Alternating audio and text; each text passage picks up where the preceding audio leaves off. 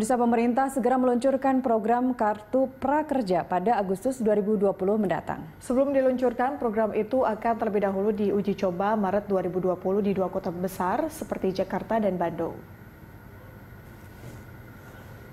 Menko Perekonomian Erlangga Hartarto mendatangi Maksud kami mengatakan pemerintah tengah mengebut penyelesaian peraturan presiden soal program Kartu Prakerja.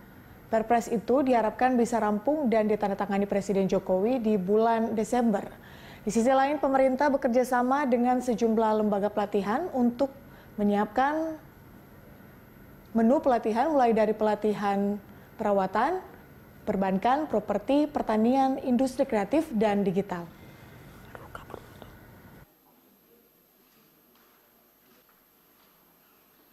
Yang pertama terkait dengan uh, siap kerja dan juga terkait dengan uh,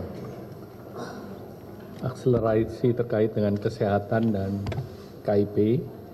Terkait dengan program Kartu Prakerja, tadi kami sampaikan laporan bahwa Kartu Prakerja ini disiapkan untuk uh, para pencari kerja, pekerja yang uh, berhenti kerja maupun yang akan pindah kerja dan ini kartu prakerja disiapkan untuk eh, WNI berusia 18 tahun ke atas tidak dalam sedang pendidikan formal dan ini programnya akan juga didorong untuk pekerja migran Indonesia.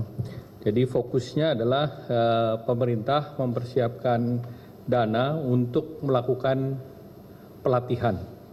Nah, pelatihan itu Eh, baik dari sumber pelatihan yang ada di dalam negeri, di mana eh, kami sudah siapkan beberapa pelatihan, termasuk di dalamnya lembaga-lembaga yang sudah ada dimiliki oleh pemerintah maupun swasta.